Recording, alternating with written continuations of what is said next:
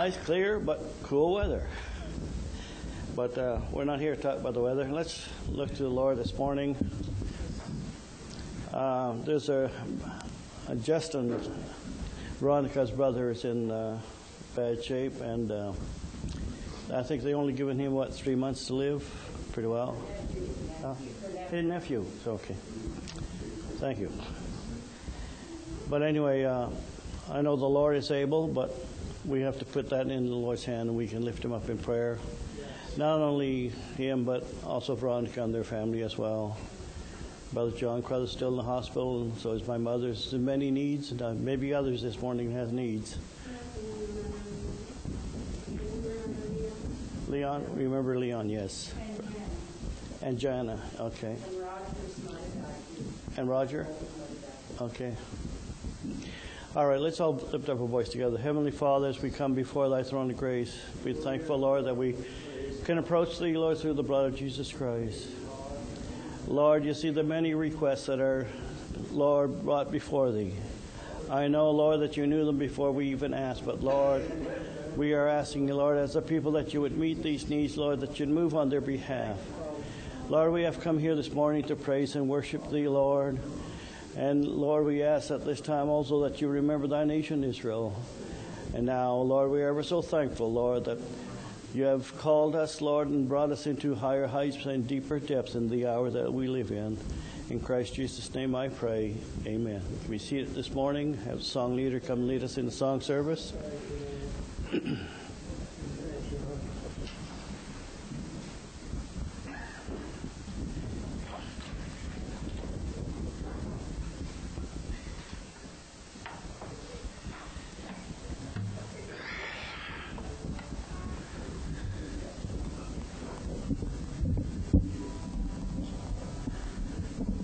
everybody that made it out in this nice weather. Takes a while to get warmed up, get moving. Thank you, Lord. Just a little longer, and the trump of God will sound.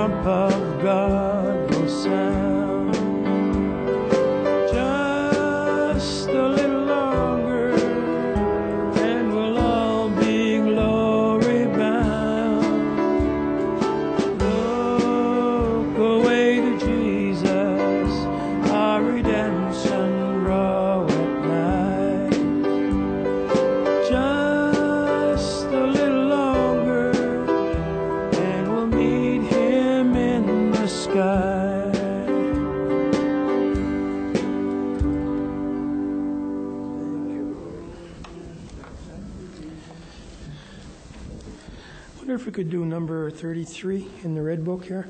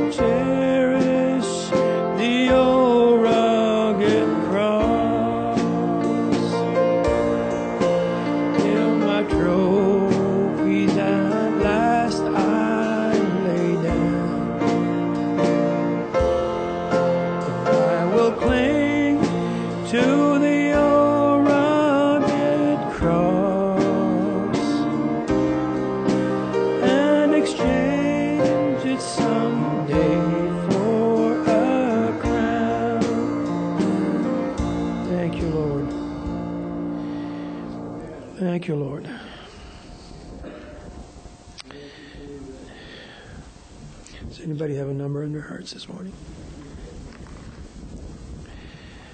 Maybe you can do number 32 in the blue book. Page, I think it's page 19.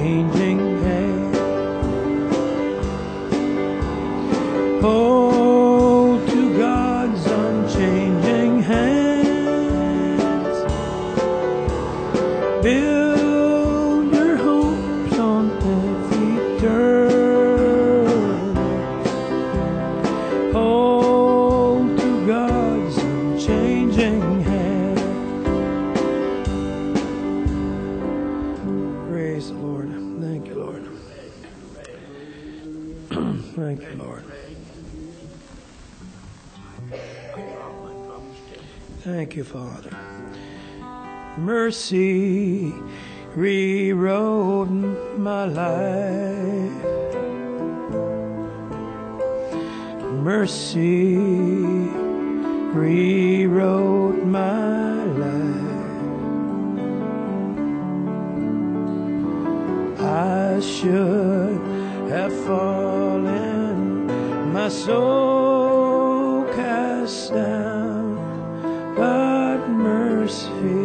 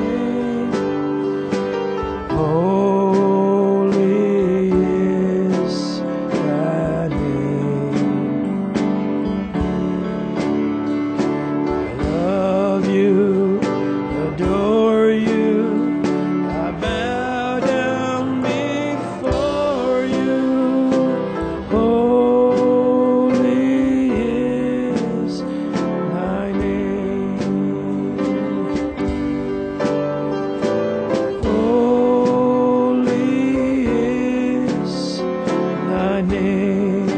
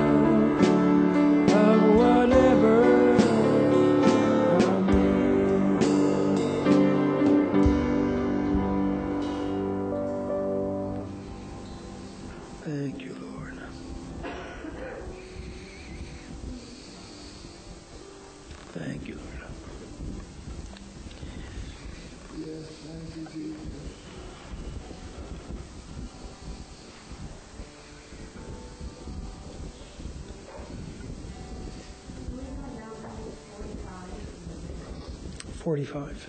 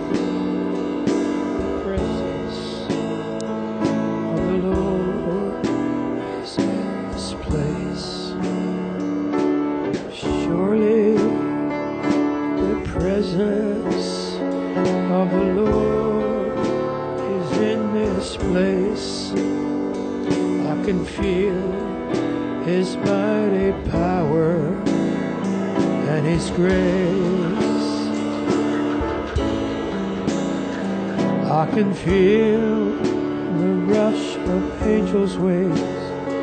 I see glory on each face.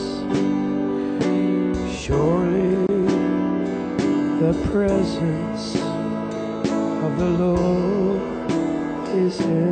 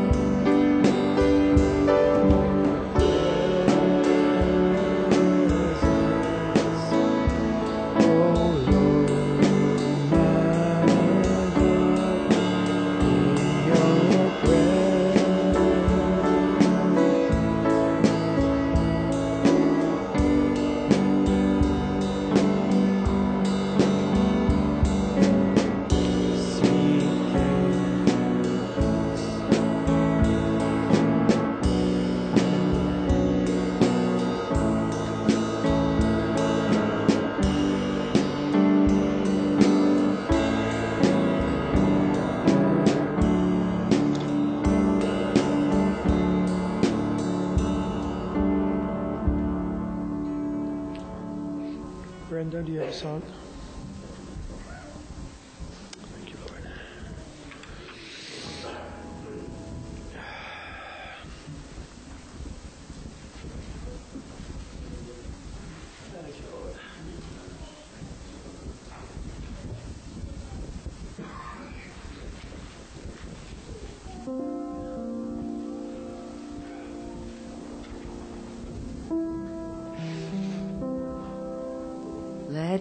Your heart be troubled. Jesus sees it all. He knows about your struggles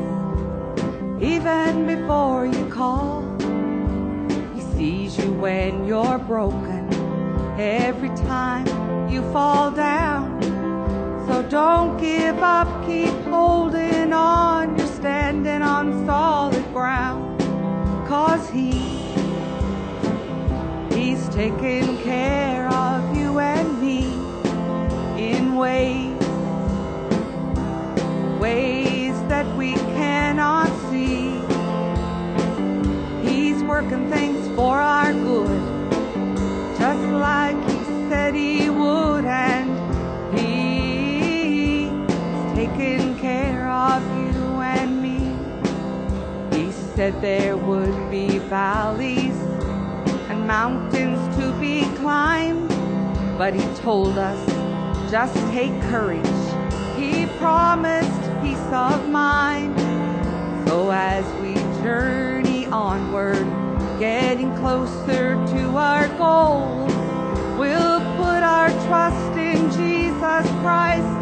He will take us home. Oh yes, care of you and me in ways, in ways we cannot see. He's working things for our good, just like He said He would, and he He's taking care of you and me. Well, He said there would be valleys and mountains. But he told us, just take courage. And he promised peace of mind.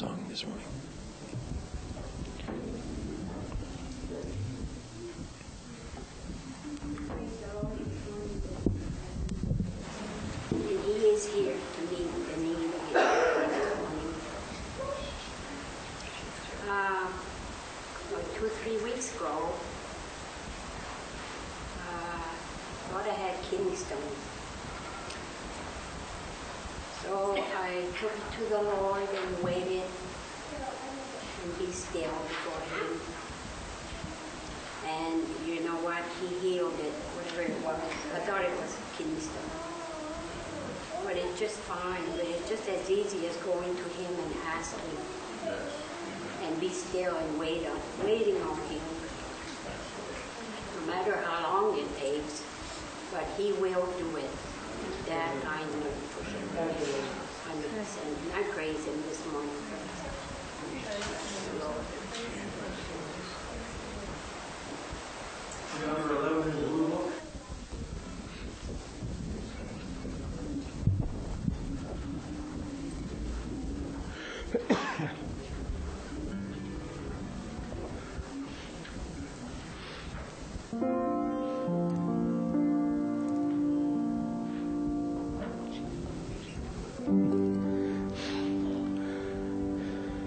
Just a touch of the hand of the precious Jesus.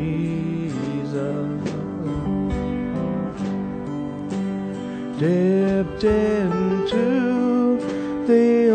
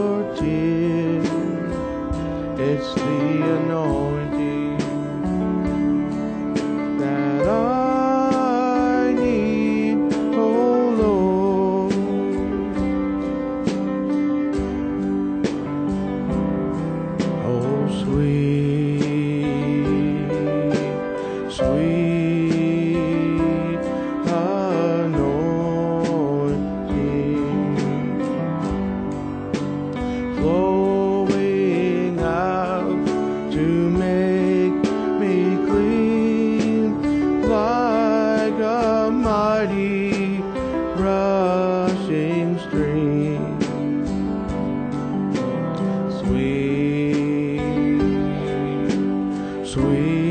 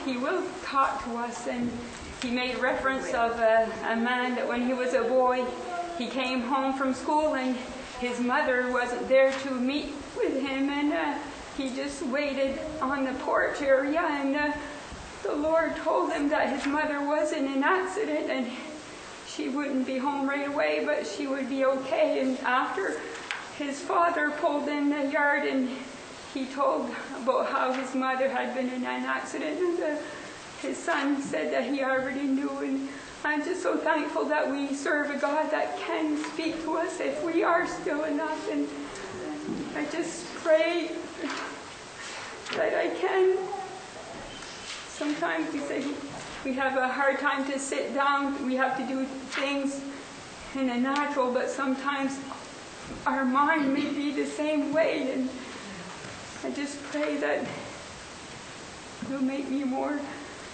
sensitive to His Spirit. And uh, can we just sing that little chorus, Jesus, sweet Jesus, what a wonder you are. Thank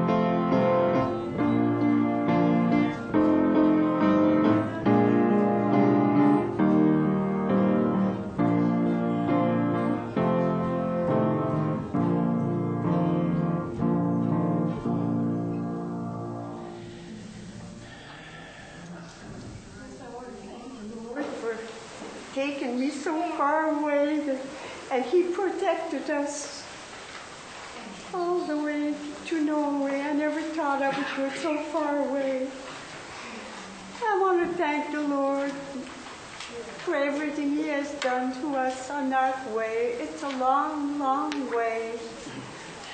And thank you, Lord.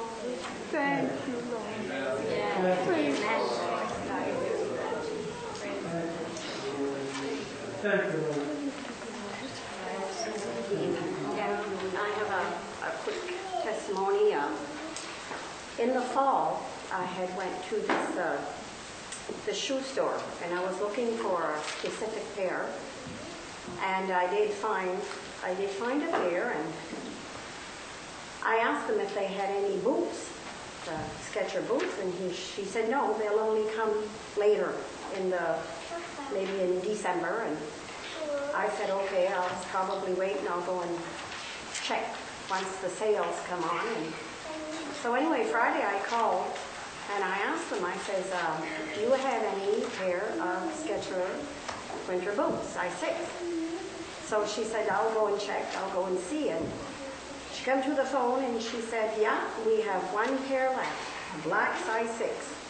So anyway, when I went to, to pick them up, I bought them, and she passed them to me, and she said, um, you know, this is the only women's size boot that we got that come in.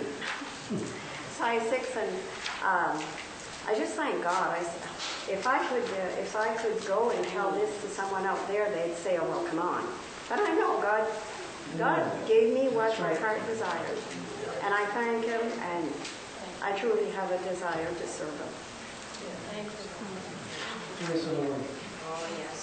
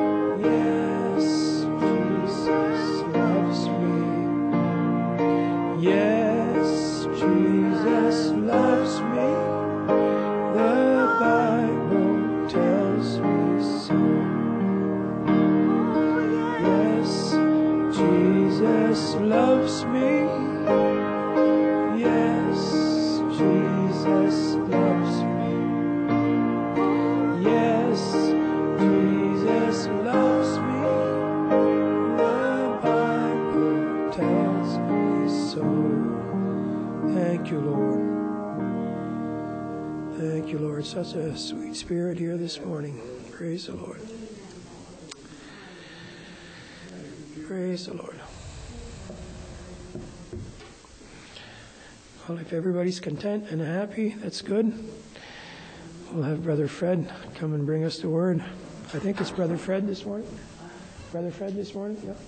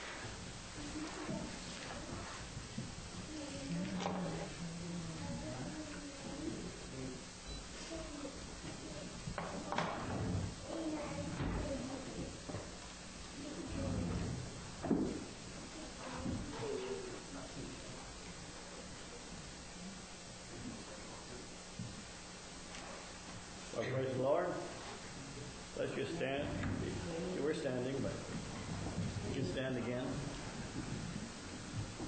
Heavenly Father, as we come to this part of the service, Lord, we're thankful, Lord, that we can have a place we can assemble, Lord, in a country, Lord, that we can have peace. But, Lord, it's more important, Lord, that your word would have preeminence in the hour that we live in. So I ask it now in your precious name, in the name of the Lord Jesus Christ, I pray. Amen. You can be seated this morning.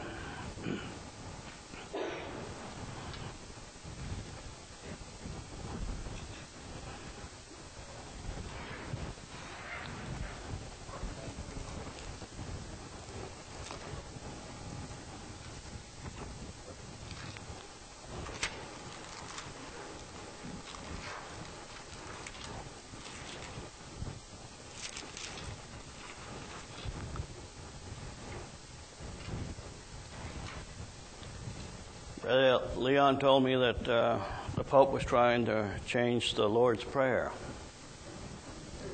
That it doesn't mean exactly what it is, so you probably all heard that to begin with, but it just goes to show they they need to change things to, so everybody can be compatible in among the religious world. That they're all getting together now head office is, but not so much the actual assemblies themselves with the people in the, in the pews. But it's fulfilling God's word. We're moving towards a, a period of time where God's word is going to come to a completion. And here we are in 2018. I remember when I first started out, well, I knew 1977 wasn't right because I only came in in 74, so but then there was all the big talk about 2000 and year 2000, how things was going to happen, and and then along we were kind of looking for 2004, but that was back in the 90s, uh, in the early 90s, before time would progress to such a place. But God's word continually moves on. When we're looking at Revelation, it's one thing to say this is a revelation, but somewhere things on ground has to meet what the revelation is saying, unless we have to readjust the revelation that we are carrying. And so, I believe God keeps us up to date. We're living in the time of the fivefold ministry. And what an hour are we living in now? we thought, I remember when uh, back in, in the 90s and the beginning of year 2000, well, I thought, wow, you know, things are getting close. But we find over time that God keeps adjusting certain things, watching for His coming. And that's very important in the hour because it's important to Him that we live in. And I thought of going over again this morning about Matthew chapter 25. You can turn to your Bibles in Matthew chapter 25.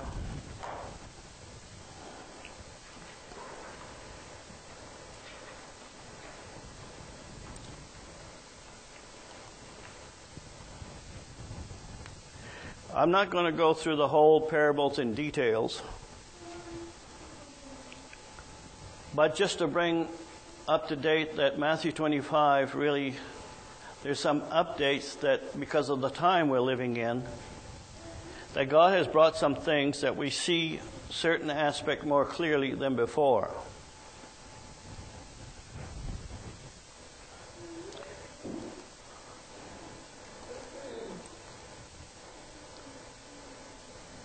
How many seen that before? Encyclopedia Britannica. It holds a whole lot of knowledge. I remember when we were young kids, we didn't live too close to the city, but teachers was always trying to get you to, to do some searching to get some things. And back then, no, they didn't have the internet. They didn't have, you could text anything on the phone and find what you want at your fingertips, just like that. And so as we were, we were a family of 10 and we were growing up and So my father got this Encyclopedia Britannica. Well, there was 29 volumes to the thing, so there's quite a bit of information.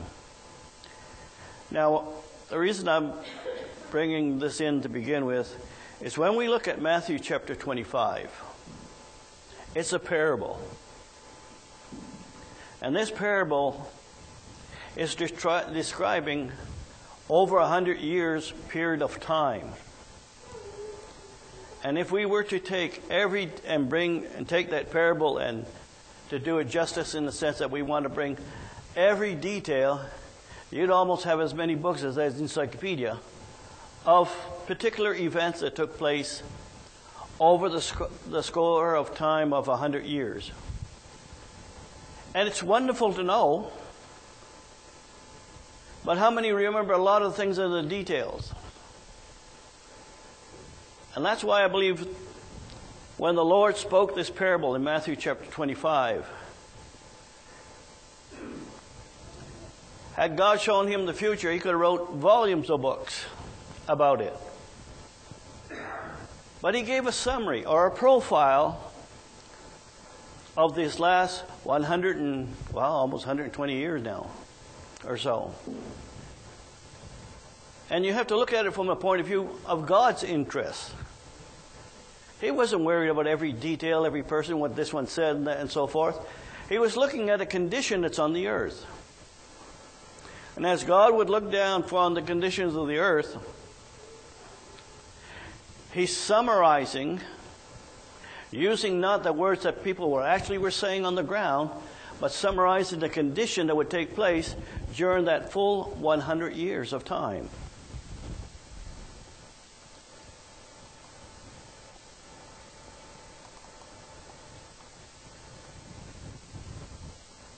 And so, therefore, then, when we read Matthew chapter 25, it's looking at the spiritual condition that affects people during that period of time.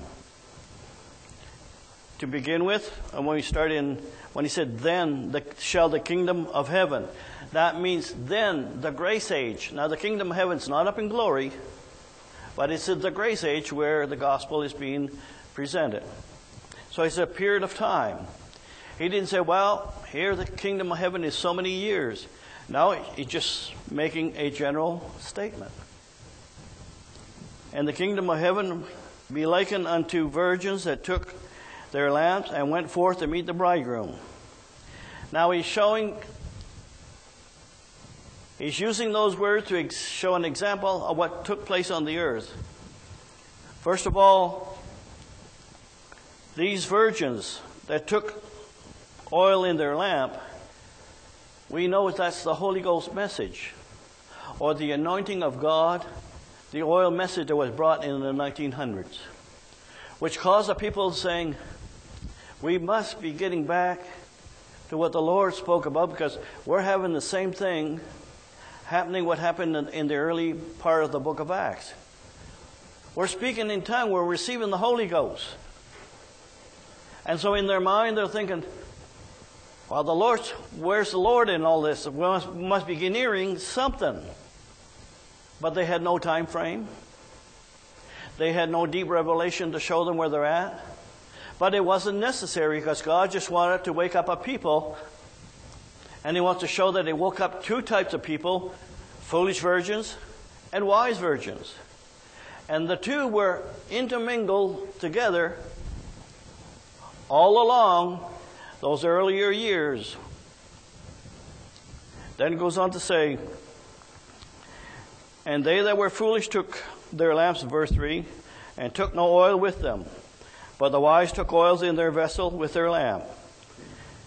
Now while the bridegroom tarried, they all slumbered and slept. They were expecting the Lord to come in their day because of the Holy Ghost that was poured out on Azusa Street and different things God, yes, He restored the baptism in the name of the Lord Jesus Christ and, and He brought forth the oneness rather than the Trinity. That was in the early years of, well, from 1903 to 1912 and so forth. You can check this history out Google it or in the contenders or wherever you can. We have that our, at our fingertip. You don't have to go to Encyclopedia Britannica, flip through the pages, take maybe two days where to find it, and then get the information. So while they slumbered and slept, what caused them to slumber and slept? Now there is something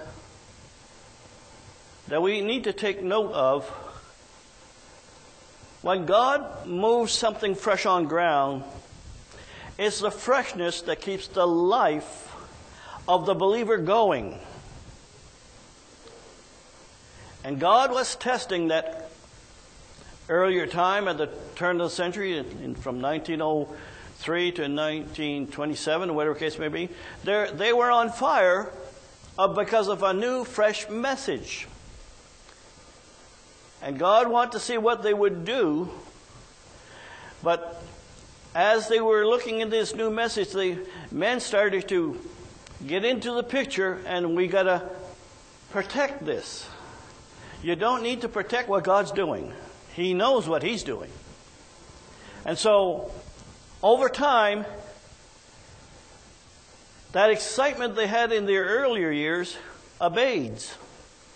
Had they been looking, really, had they been looking in the right way, in that first love, when that fresh revelation came, I imagine God would have continued on. But the condition we know that it had to turn out that way is there as an example to you and I. So when no more fresh revelation comes in, then there's less caring. People dry up. Oh no, we don't dry up. We so and so preach a nice message, and yes, you, somebody can bring something exciting on something that was already brought. But that only that's not the same thing as fresh meat. Because fresh meat causes a stir in the hearts of the believer that they, they want more. They're alive. They're not excited for just one service. All right. So in those years, after when the oil message sort of abated, God allowed it that way, they slumbered and slept. They slumbered and slept on what? Did they throw away the revelation they had? What God had brought them, did that throw that out the door? They slumbered and slept on the Lord's coming, wanting to know more. They just stayed, and what we sometimes refer to, they, they start going in circles. They form denominations. But then, as we go down in verse 6, And at midnight there was a cry made.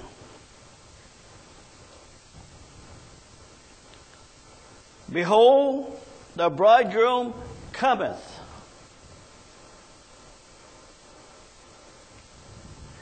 The key thing to focus on yes, there's the cry. But in what way does the cry becomes it's the part that would initiate something of a stir. But in that stir, it says, The bridegroom cometh. Now, I'm not the best one in grammar. You all know that. But means cometh, he means he's in the process of coming. He didn't say he was here. He's in the process of coming. And so, therefore, this, the cry, and we Look at what point in history that the cry would start. Well, that started in 1947 when God brought a prophet on the scene. But before God that brings that prophet on the scene, he was preparing that servant of his from 1933 when he baptized on the river, the seven visions that he had, so forth. It took time for God to establish that prophet to be on the scene. But then when he comes on the scene, his function is to turn back the hearts of the children to the forefathers, which is the apostles' doctrine. Now, that verse 6, is not done in two or three years of time. That takes from 1948 to almost 1960 or, or 57, whichever. Because God, is, you can't just put exact date on it. It's how the doctrines of the apostle was being restored gradually over time, little by little. Kept getting more and more. And what is this for? Why would God say the cry is to the bridegroom is coming? Those principles, the, the doctrines of the Lord Jesus Christ, was to prepare a people to have certain revelation in them. So when he does come, they are ready to that point and they're not a babe in Christ when the next step we're going to look at, when he actually comes himself. Now, when we say the bridegroom cometh, he doesn't come physically, he comes in the revelation of his word. So as the word is being restored, we're moving on down in time now till we reach 1960.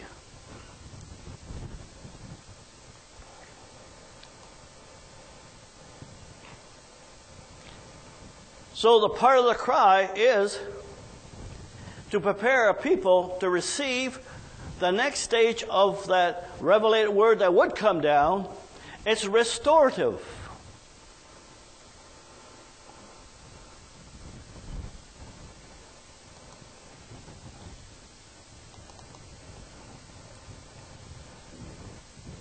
Now, I, the reason I put that up is just to show these numbers that are behind the word cry and cometh. It's, how many is familiar with the Strong Concordance? The big blue book, about that big, gives the definition of all the words. And so, therefore, when he made a cry means he's crying out something a cry gets somebody's attention. And so, therefore, we can see that these are the, if you want to, the Greek words, that's to say it's a cry, a climber, or so forth. I, and, and that's fine to say there's a cry, but it has to be something that would affect the religious world. Not just someone getting up on one Sunday and preaching a sermon, but his message would now be like shaking the denominational world. In this cry, God was sending it not only with restoring the word, but He was also bringing some, the gifts into demonstration that would draw people. Because sometimes it takes that to draw certain people, and then God will bring them in and, and start feeding them to get ready for the Lord to come. But now remember, verse 6 He's coming, He's not here yet. But then when we, now I don't want to get into verse 7 and 8, talks about the lamp, the, the foolish virgins and the wise virgin. But when we get to verse 10, now that a people has a fundamental foundation to be ready to receive the Lord, when we come to verse to verse, chapter 25, verse 10, it says, And while they went to buy, Who's they that went to buy? These are your foolish virgins. When did the foolish virgins decided to go to buy?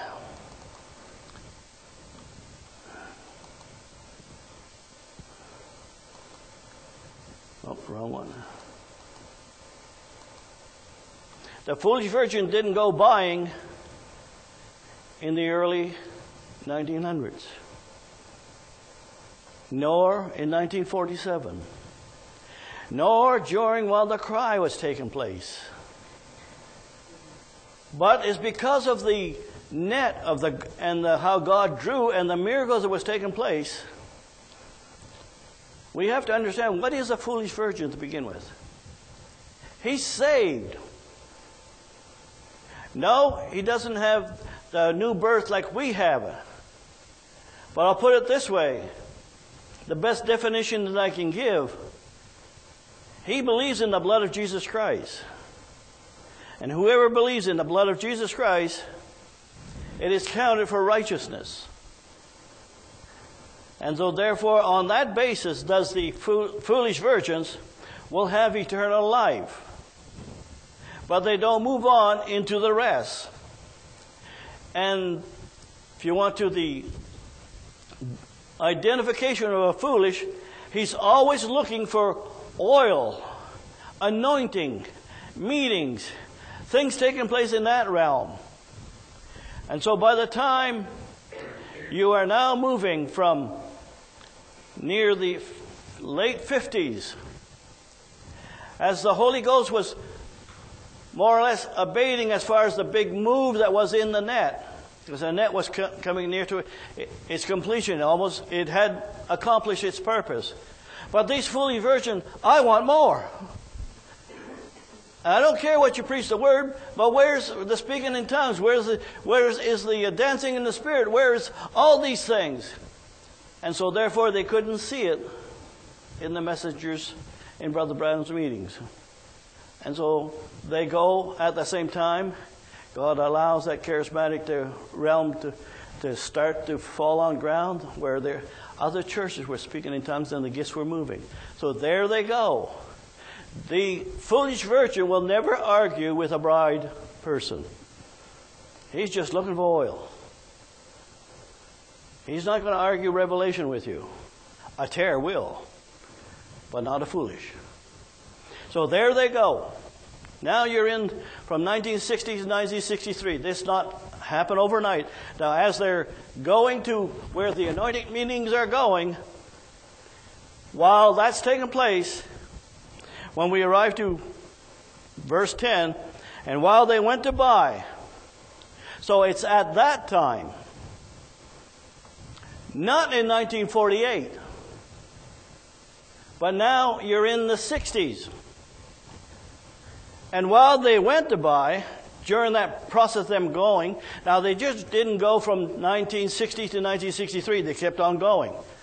But it shows where the process started. And when they went to buy, the bridegroom came at that time.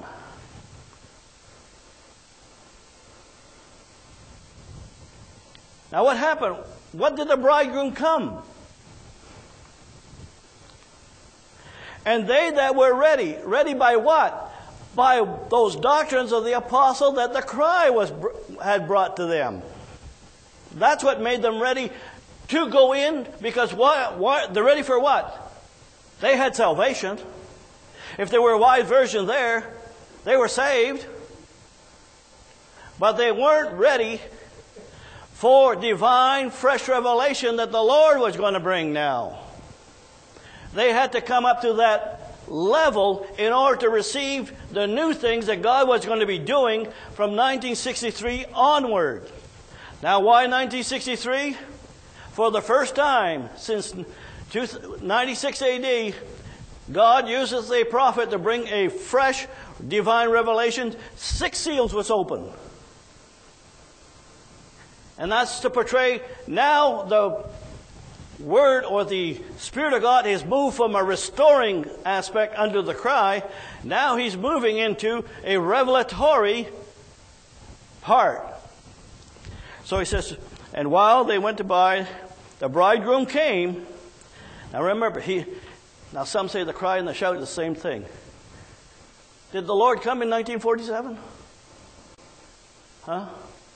Did the foolish virgin go uh, buy oil in 1947? You know that's not there. But because Brother Jackson says the, the cry and the shout is the same thing, they put everything in the same bag. It is the same spirit. But you can see a progress of what God's working on ground is not quite the same. Here he's restoring in from 47 to 1960, he's restoring the apostles' doctrines. It was necessary for them to be go into the next stage so that they could receive fresh meat. All right. In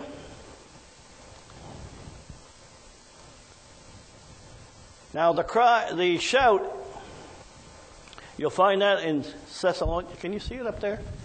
Yeah, okay. The Lord Himself. Why does it say Himself? it makes a distinction. He's not coming with a cry. He's going to be descending. From where? From heaven. Descending, he's not in the process of descending, he's coming. And from glory, it don't take twice 24 hours for him to come down in his revelated word concerning now what we call the shout. He's descending from heaven with a shout. We're still in that shout phase. We know up ahead when the seven seals broke, it's going to be the voice of the archangel. And the trump of God, that is, that's actually when the silence is over, that trump of God is sounded, the dead in Christ are going to rise first, we alive and remaining are going up together with it, with them. Now what I want to bring in is this.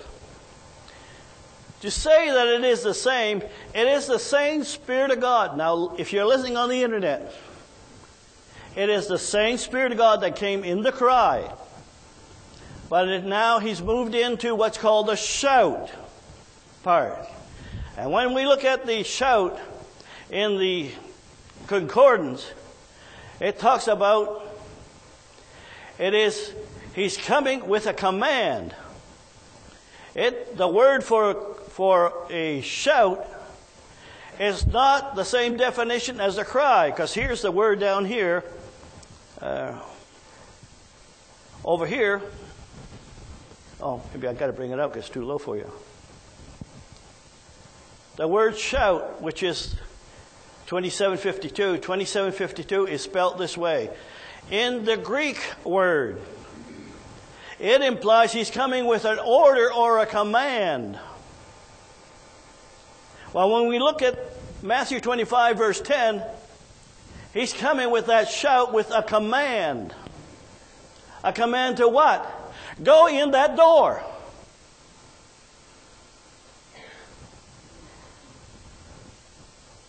It's not a command, come out to meet me.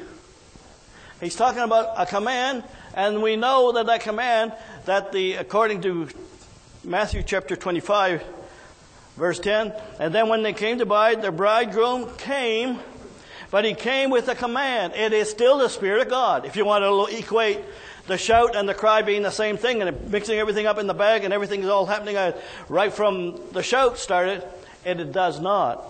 There is restoring to get the people ready. Now, when he does physically come from 48 to 1960, he's coming. He's coming. Get ready to, for him to come. But when he actually comes in 1963, now he gives a command. What is that command? Go into that room. Did he force the bride? The bride said, "Hey, I'm telling you, you got to go in that room." No, the word was strong enough with his the command of his word was strong enough that the that the wise now went into this room to be revelated. Oh, how wonderful those things are! That real one one trumpet. God speaking brought forth six seals. And that was the start. Because God was, what did that do? That now is telling the bride a time frame. Without the seals, you don't know the time frame. You know the Lord's coming. Oh my goodness, the Lord's coming. In the at the turn of the century, the Holy Ghost, well, the Lord's got to be coming soon. They had no under, understanding, no way of knowing and, they, and in Azusa Street, they weren't playing around with the deep doctrines of the apostles or any deep revelation. They were just enjoying the presence and the power of God that was on ground. But now, as we move from 1948, God now brings a cry to wake up people to hear the doctrine of our forefather, not so you can just hear them and then list them. Oh, look, I've, I got the apostles' doctrine. It was made to make you ready for the next stage. And it's the next stage that you and I are living in. But it's going to be done in three parts.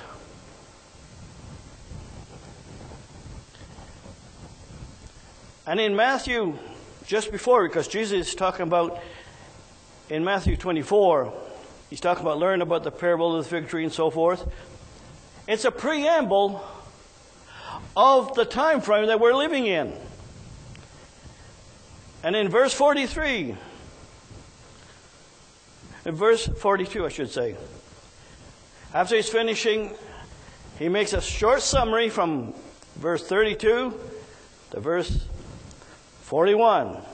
Then he finishes his off and says, Watch therefore, for you know not the hour when your Lord does come.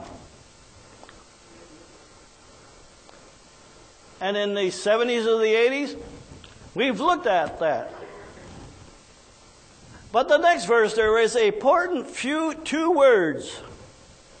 It was there, but it's not as pronounced as it is today. In verse 43 says, But know this, that if the good man of the house had known what watch, well, why, why do you want to say what watch? I thought there was just one watch. No, the reason he said what watch, because in, in Luke chapter 12, he's going to talk about three watches. Not one, but three. And if the good man of the house had known what watch that the thief would come, he would have watched and not suffered his house to be broken. Now here's the whole thing. And each one of those watch. They're not just there to fill space or time in the Word of God. In whatever it was that you find yourself in time, in the days of Brother Branham, if the wise were not watching, or supposedly wise not watching, their revelatory house is going to be broken. Because it's watching what the Lord is giving to prepare this bride to finish her with. Then move on to the second watch, which is in the ministry now of an apostolic ministry, Brother Jackson. And the warning is if you don't watch, the penalty is your house is going to be broken.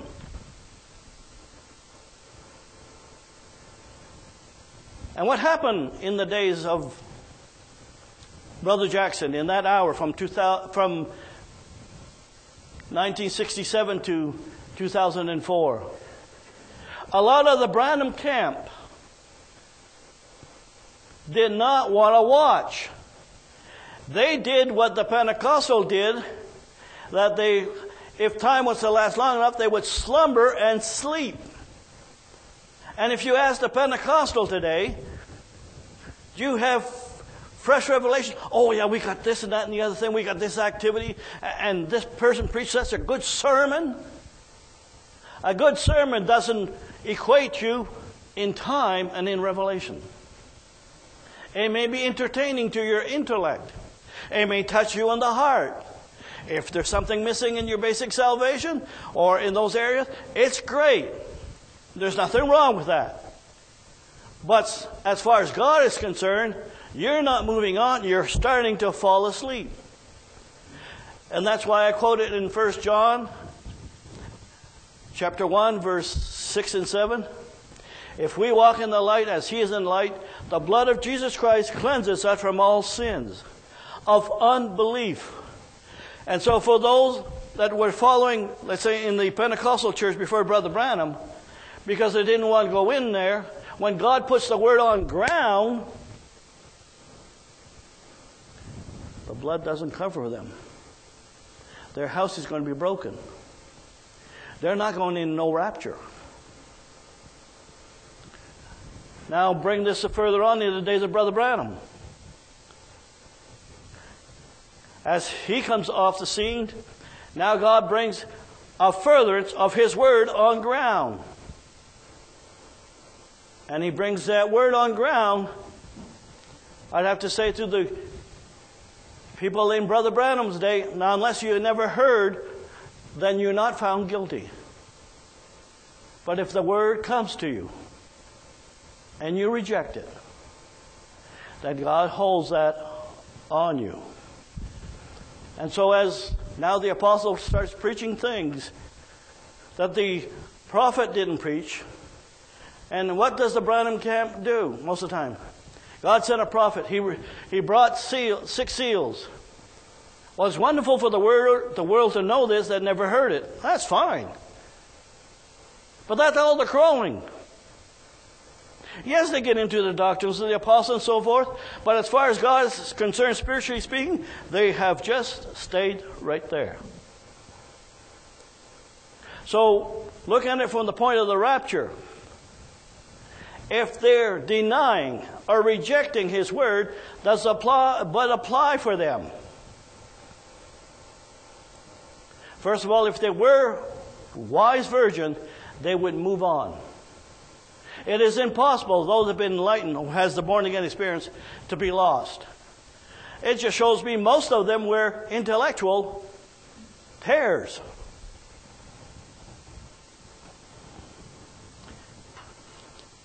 I came across something that Brother Jackson mentioned. He's talking about, because the things that he had to battle against in his day is the people from the Branham line. He says, How many of you do really do really do understand now that the fourth and the fifth chapter, he's talking about the book of Revelation, as it was revealed back there in 1963, the knowledge of those seals that are contained therein. Now, Brother Jackson didn't bring that, it was Brother Branham that brought that. Now, here's what he says that he was observing in his day. There is an element of people that has moved forward with that knowledge. That's the people that accepted the message he was preaching. But there's hundreds or many others that have taken that and they sat down. They didn't go any further than what the prophet were saying. And they wait and they wait and they wait. Because they see nothing else that they need to do. In other words, why are they waiting? The Branham people are waiting for the seventh seal to be revealed. Now, some of them, yes, there's, there's all kind of things taking place in the Branham movement. Some say that the seventh seal is in the books, there's, we just got to find it. But that's just fanatical, fanaticism. But the majority, they're waiting for the Lord to come. They're waiting for that seventh seal. And they can wait till doomsday because they won't know how close they're getting to it than, than a rabbit would. And so, therefore, when God did move in an apostle ministry, we sat on that for a long time, almost some 40 years.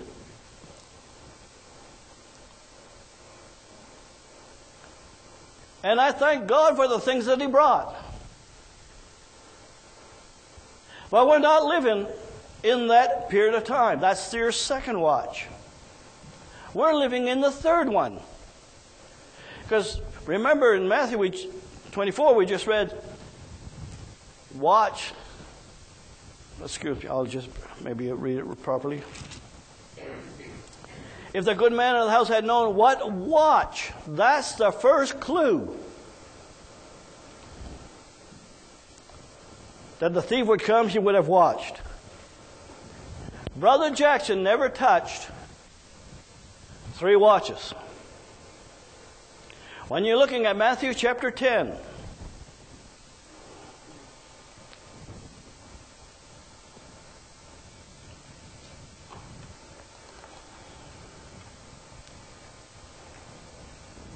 At, sorry, Matthew 25 and verse 10. In the years that it was preached concerning, and you'll find it in the uh, the last 100 years, and he probably preached some of it in the seals. But he never did touch. I searched to see if he did. He never touched on Luke chapter 12, nor did he touch Luke chapter 19, verse, 13, verse 12 to verse 43. He didn't touch about those coming. He didn't touch Luke chapter 12 because in the days that he was bringing that fresh meat on ground, I don't know if he probably knew or he didn't want maybe bring it out or the Lord didn't allow him to see it at that hour.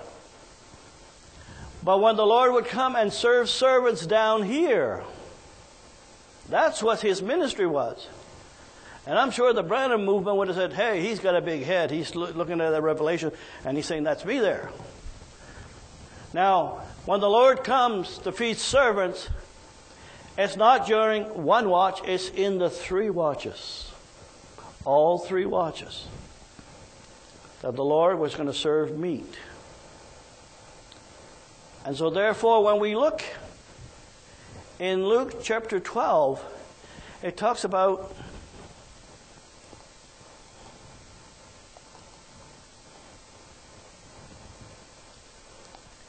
Ye liken yourself unto men that wait, that wait for the Lord when he will return. Not when he cometh, when he is returned, that they may open to him immediately. Why? Oh, well, it's not important. We have the doctrines of the apostles and the teaching of Jesus Christ. That's what a Pentecostal will tell you. Or maybe others. Blessed, blessed are those servants when the Lord cometh, shall find watching. They're up to date. And I say to you that he shall gird himself. Now, I read that and this week says, well, okay, there's that word gird. What does it really mean? Well, when you look at the definition of gird, which is in the Lexicon Dictionary 4024, that's the, sorry.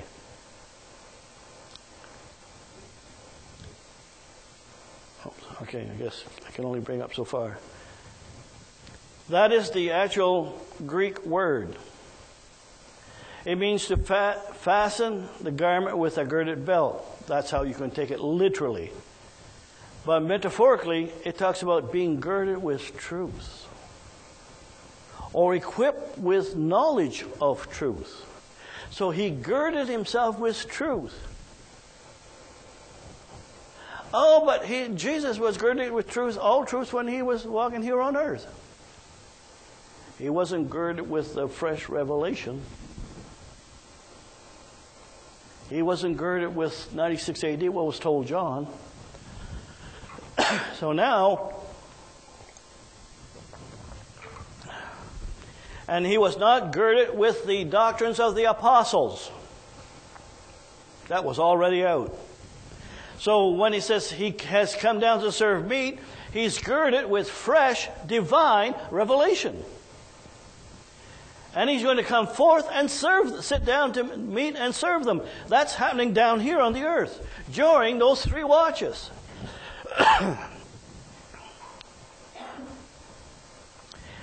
That's why I'd have to say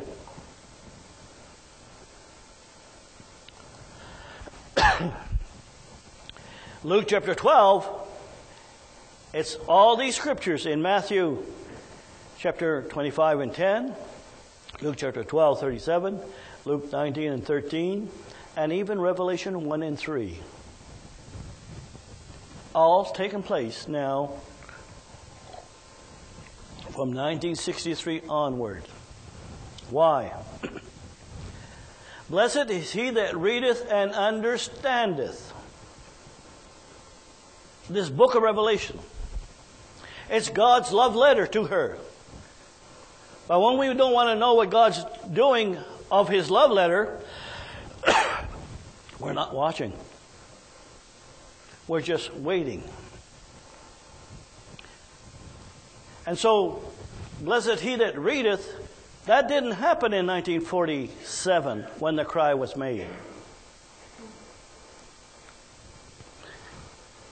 Those wise and foolish virgins in from 47 to 1960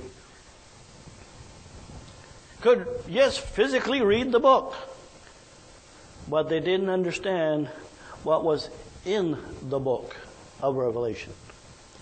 And so, therefore, all these scriptures pertain, has its starting point right here in 1963.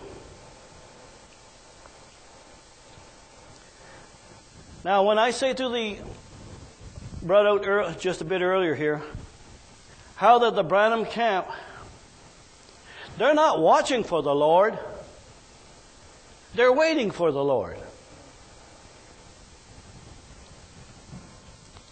Or they're observing when the Lord would come, which is different than watching.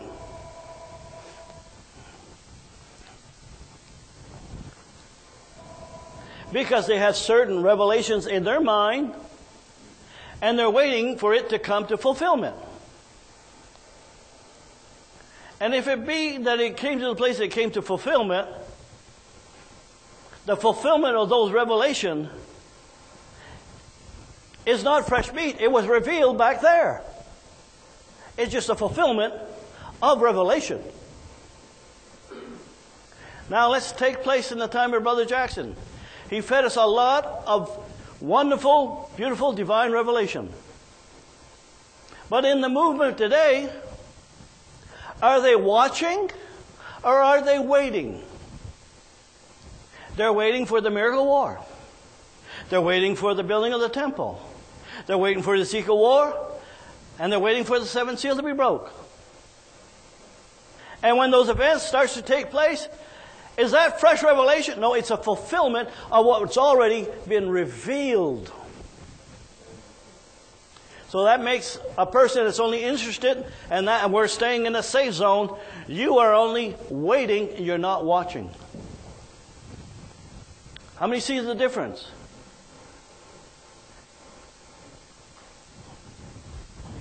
But we are watching in this hour. Watching for what? Here's the three watches. First of all, the Jackson movement, the majority don't believe in three watches. Oh, but we have fresh revelation. But they don't name it. Because they don't have it. They have the thing that was revealed back there. Now, I'm saying this this morning to wake up those that would have eyes to see and ears to hear, because from here on out, God is not going to just wait around and wait around for someone to maybe finally eh, stumble across a revelation and see it. In all those three watches, when fresh revelation came on ground, an element of tares was separated. In the second watch, as fresh revelation came on ground, that those that followed, it separated some tares from there. Do you think it's different in this hour? But they're good people. They read the Bible. They go to church. But they're watching, they're not watching, they're just waiting. I'm saying this to, for the aspect, please wake up. Because what Jesus says in Matthew chapter 24, verse 43, if the good man of the house had known what watch he was in,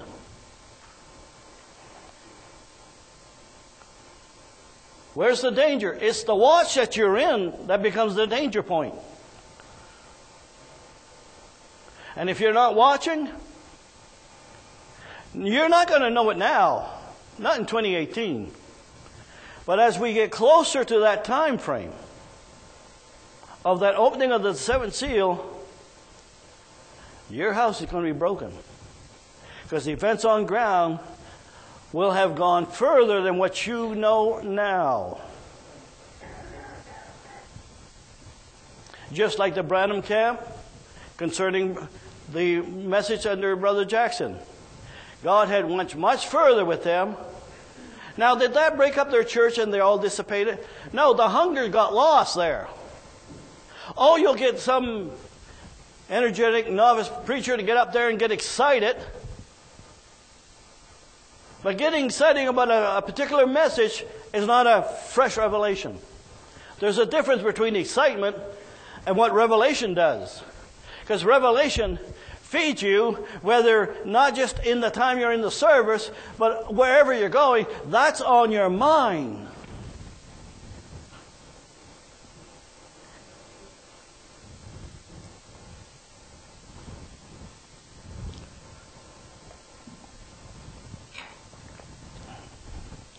So now we are living in this period of time here.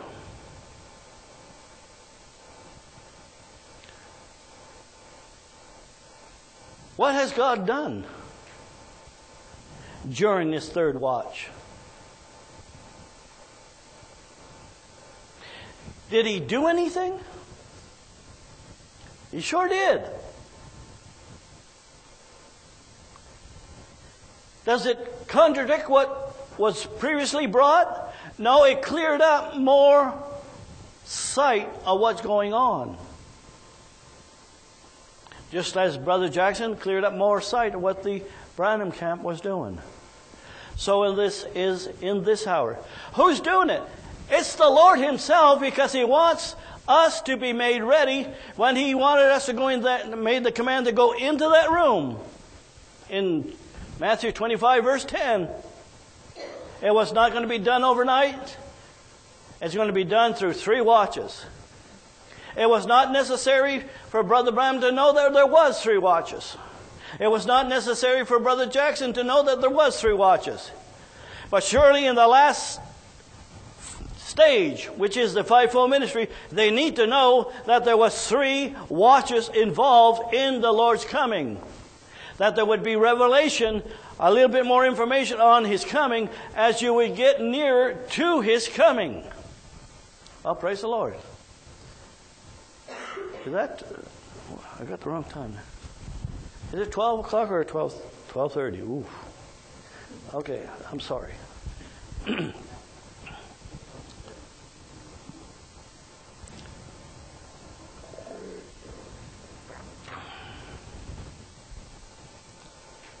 so what has brought?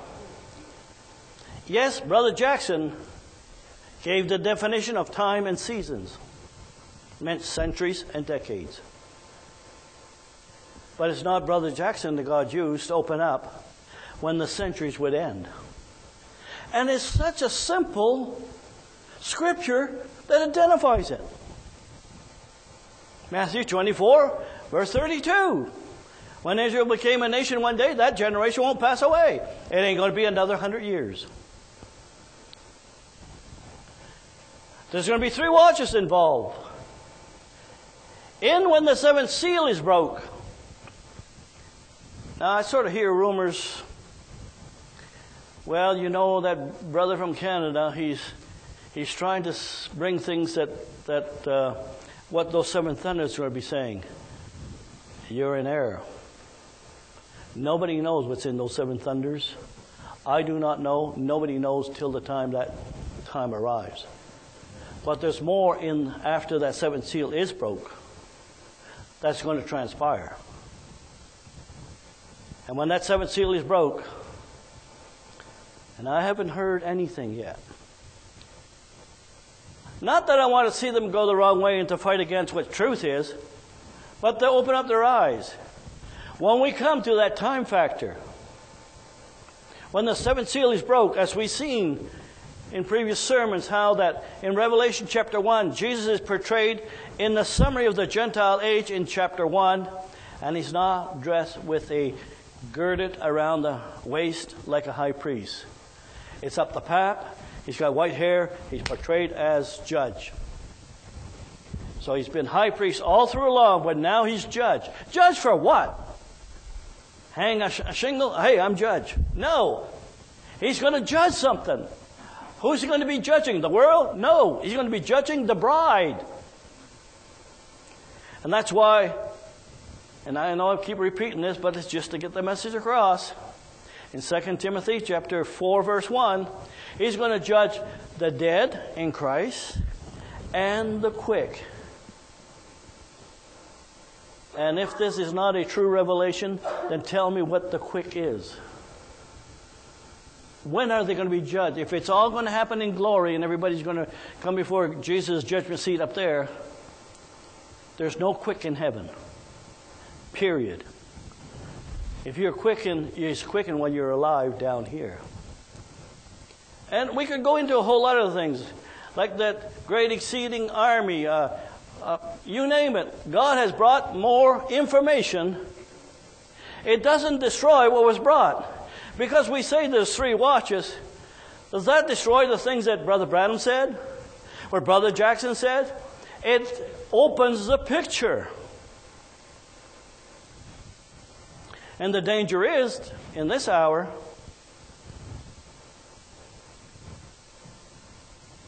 if we are not watching, then your house in time is going to be broken. Because time and events will find you out.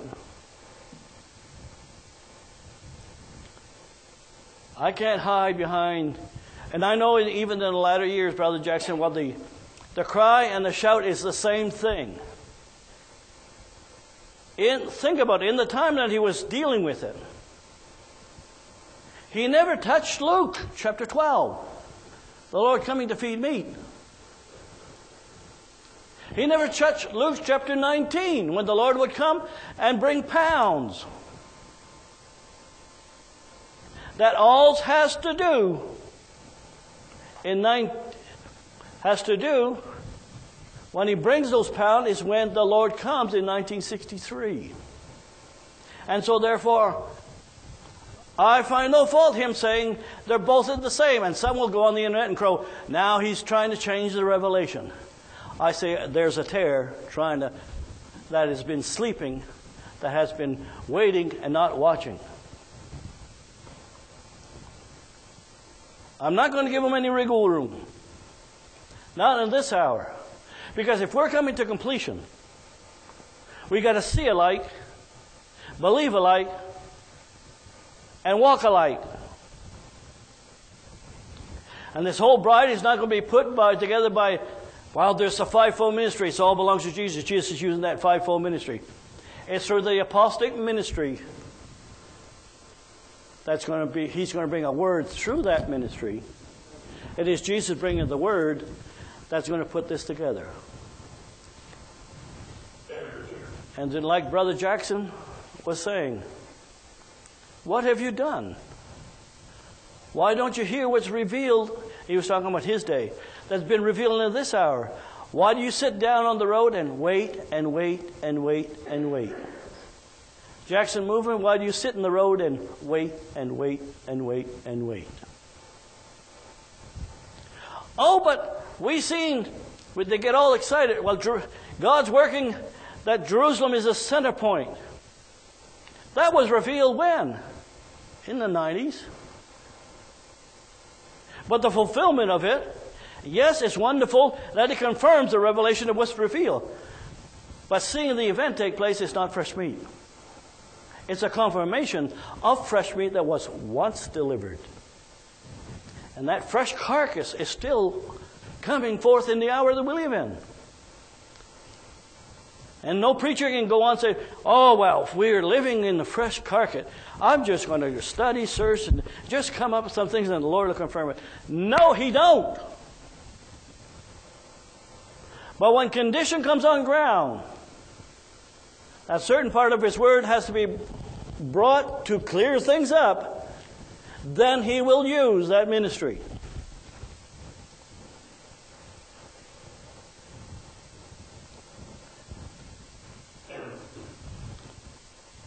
We've been accused of having, we need a revelation every day.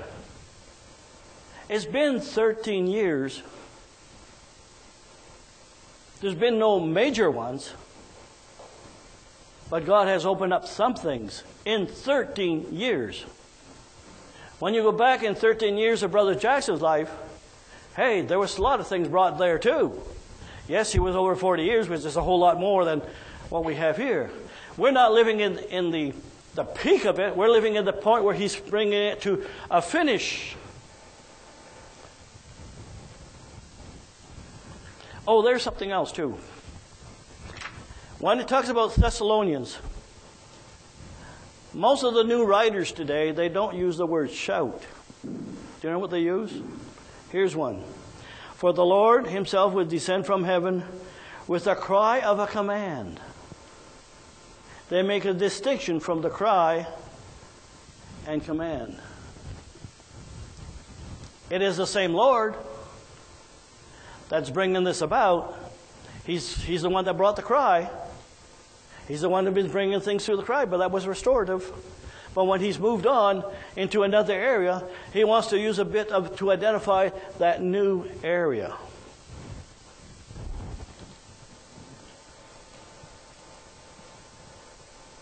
So, yes, the cry and the shout is the same spirit which comes from on high. But the function, the cry was when it's for that he's going to come. So you can have some tools, like the Apostles' Doctrine, to be ready for the next stage. But when he is here, he's not saying, well, get your Apostle Doctrine straightened out again because before you can get in here. No, now he's going to be moving. And he gave an ample of time. Now, granted, there's p- new people that come in and so forth, but he's looking at the overall movement of his spirit, of his word. So when we come now, in 1963, he has come down, not that he is coming. How many sees the difference? Does that destroy Brother Jackson's revelation?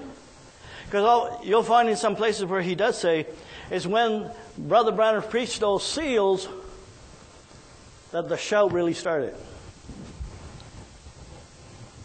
But then he turns around in another message, the shout and the cry is the same thing. He didn't have the revelation that we see today of Luke chapter 12 and of Luke chapter 19 that sets that in place right over here at that time. He, yes, he, he dealt with the revelation as, far as Revelation chapter 1.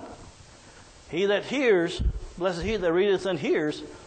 When did that start? Don't tell me Brother Jackson said that started in 1947. 1963.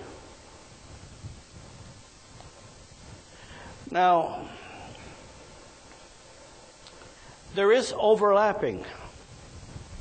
That's why I put down there's a transition of one type of moving of the Spirit to restore versus the prophetic teaching.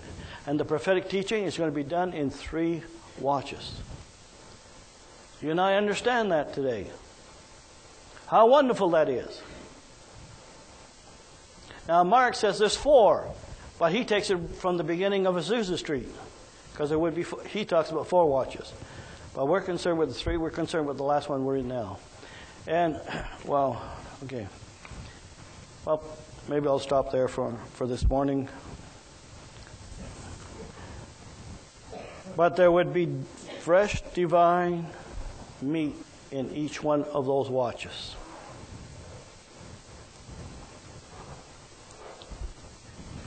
And when God brings His word on ground, that's why we put that scripture up sometimes. There's no place to hide. If you refuse Him that's speaking from heaven. Now, if you say it's not so, then you don't believe it's coming from heaven. But that don't negate it. Just like when Jesus was talking to the Pharisees.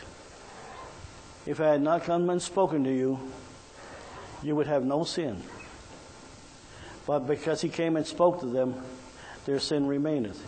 Now, he, he, he didn't shout that. He didn't have a loudspeaker and a broadcast system that went all over the nation of Israel. He spoke to some that were the headship right there, and that went out from there. The same thing applies in whatever period of time. Because Brother Branham brought six seals then the denomination had no cloak. Because Brother Jackson brought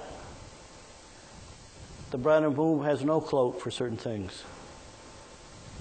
And so is it in this hour. The same thing.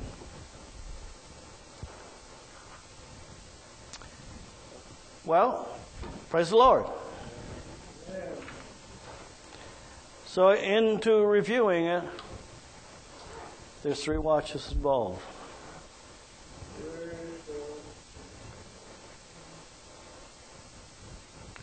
Are you happy? Are you being fed?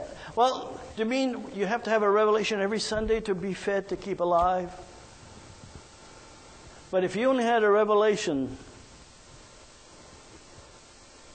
and it would be 20 years before you have another one,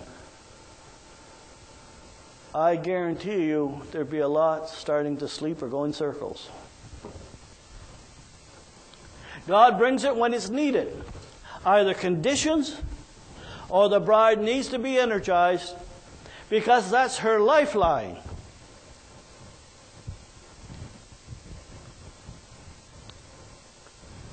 Well, uh, let's just stand at this time.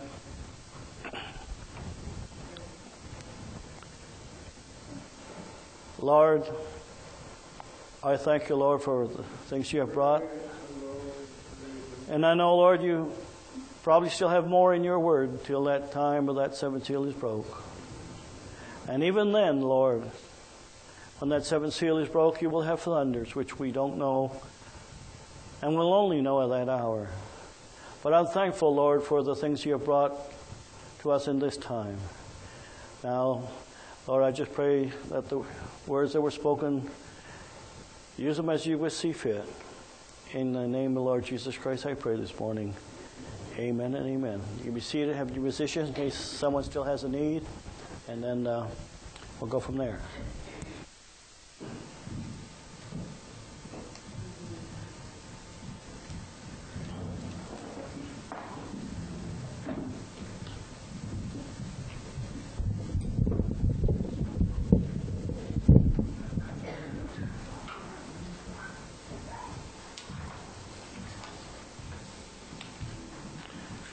I'd have to say, Brother Governor preached a real good message on this also.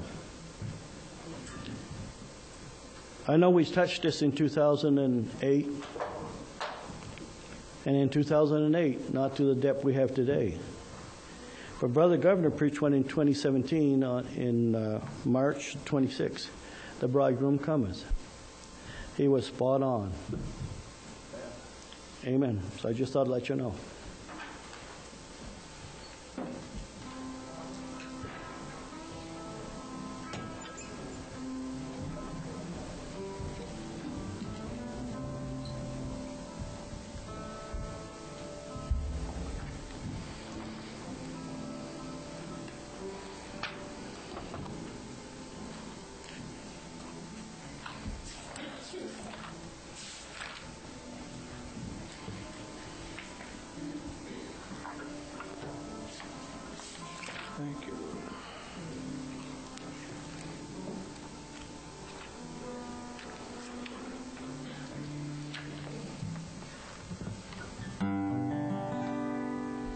Reach out and touch the Lord as He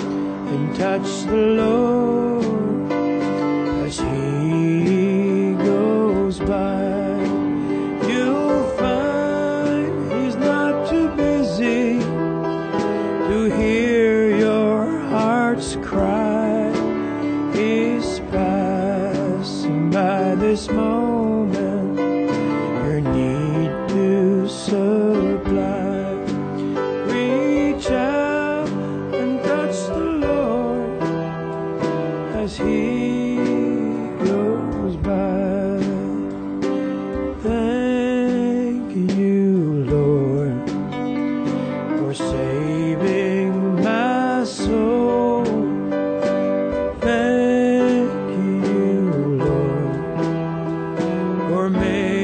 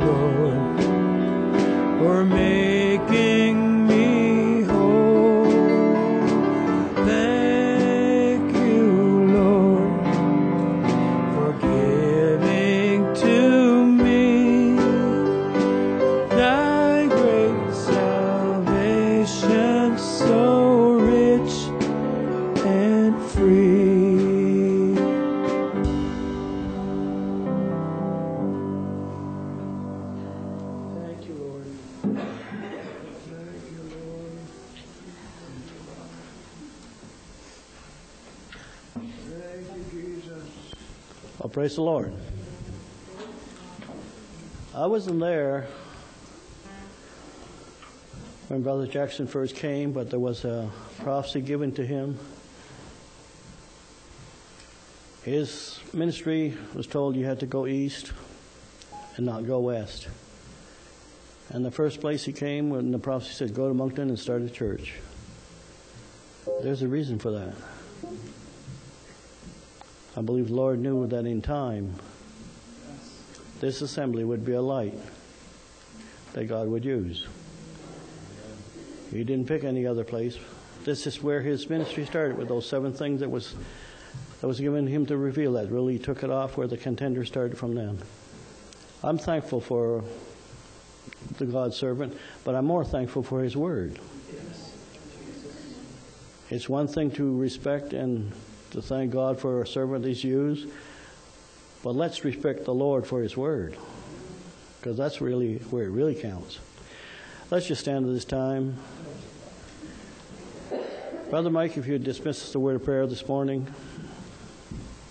Dear Heavenly Father, we thank you, Lord, for being able to be in the place, Lord, where we can worship and hear your word, Lord. So Lord, we are so thankful that you reached down and you touched us, Lord. You took us out of all these systems and all these, all the nonsense, and you just made it so real to all the reviews. You made it so for. I ask that you uh, protect our brothers, brothers, Lord, that you preach your word. And Lord, grant that the little country of Israel, Lord, just comes out on top of everything. Lord, we know, we know what you showed us, Lord. Lord, help us to take it and walk with it. And Lord, if there's any sick and afflicted, you know all about it. Yes. And Lord, only you can heal. We just ask, Lord, that it's all in your will. And Lord, we thank you for the traveling mercies that you do give us on these roads. I ask that you bless all my brothers and sisters, Lord, in the precious name of Jesus Christ. Amen. Amen. Come Monday, um, Benjamin Netanyahu, his, his uh, time as office, if there's a bill being passed, his government will go down Monday, or if it passes, he's good till the next election. So I just pray that God keeps him in there. I mean, I don't know who God's favorite is, but I kind of like him. Praise the Lord. All right.